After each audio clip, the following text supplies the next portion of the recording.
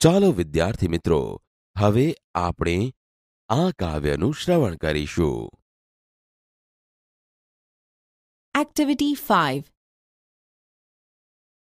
Food is nice. On the rice. Add some curry. Don't eat in a hurry. Vegetables are nice.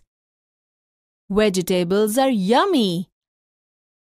I like vegetables in my tummy.